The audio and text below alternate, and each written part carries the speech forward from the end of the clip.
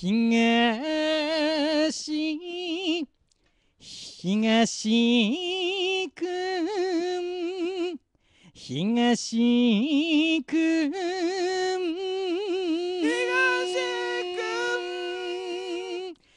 ん。西ことに風ことに風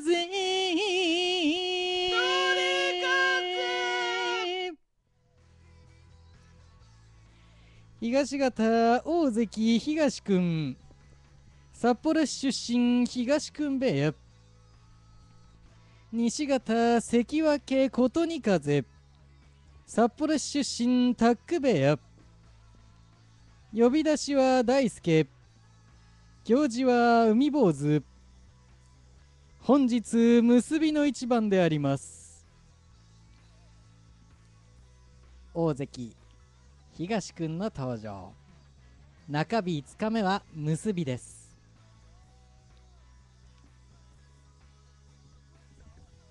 さあ今回からおっと。そうですね。この後7時からキラキタがありますので 新しいのが登場しましたね。真ん中にね。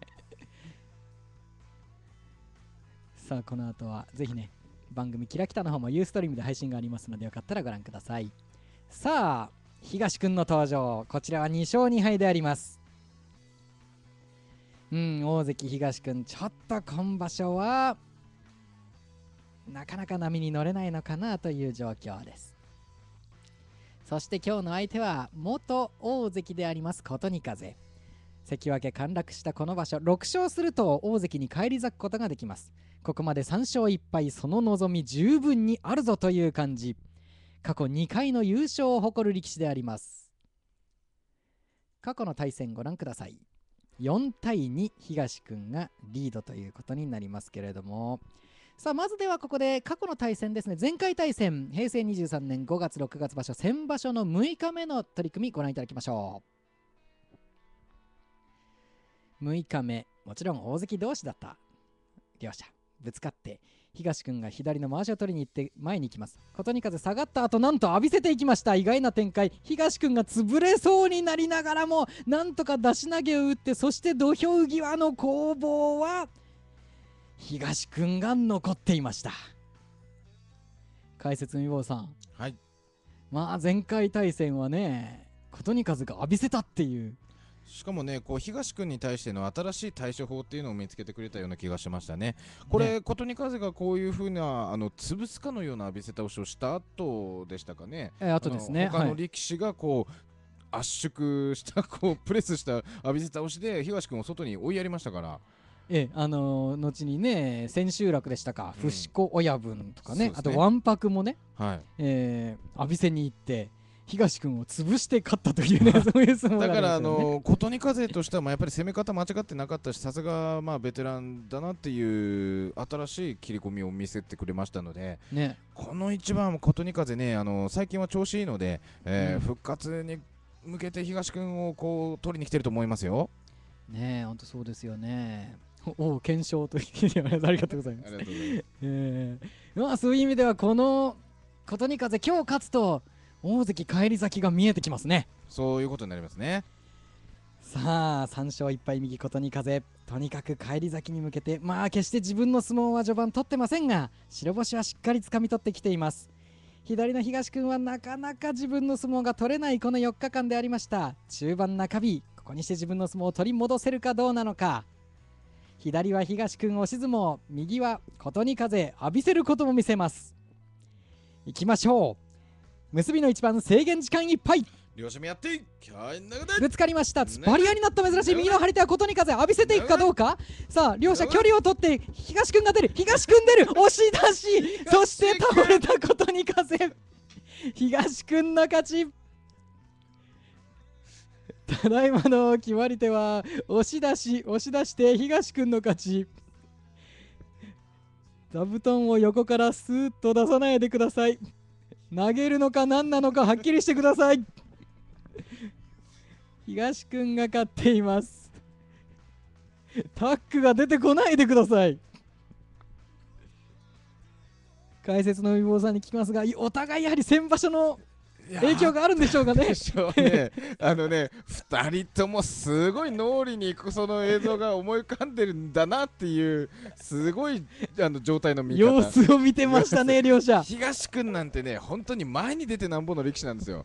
まあまあ見合った まさに見合って見合ってっていう。ね。見合ってましたよ。で琴に風も浴びせろよ。なんかもう行こうかな行かないかなってグラグラグラグラしてね。あもうなんか惨憺たる状況ですよ。上から見ると。もうね琴に風これなら浴びせてった方が良かったっすよ。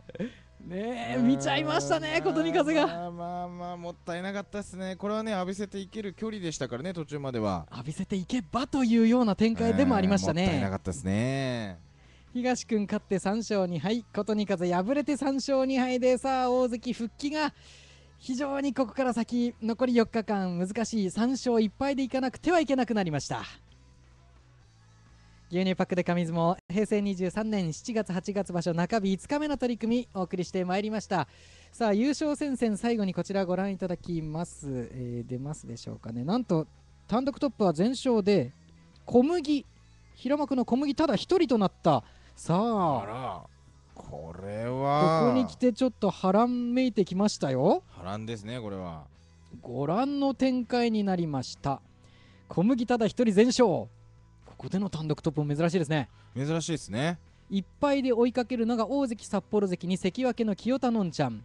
そして琴に風もそうですね。あ琴に風は失礼しました。これで2敗に後退していますので外れなきゃいけないですね、ですので三役陣は、まあ、大関1人関脇1人そしてそれ以下は平幕おしろこま伏高野分薩駅メルカッパトンデンという状況ですね。まあまあ毎回そうですけれどもこうトーナメントとかでね勝ち進んできてこうあのーねうん。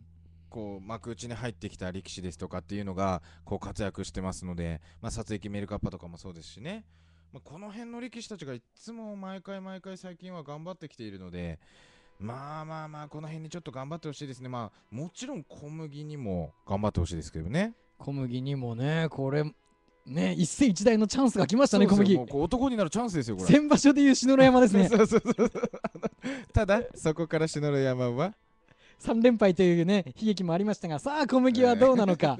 小麦6日目は松前城との取り組みが組まれております。どうぞご期待ください。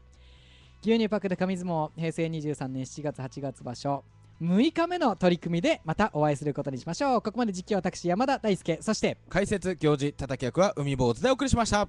さあどうなる優勝争い。そして大関取り争いもどうなるか。後半戦をお楽しみに。さようなら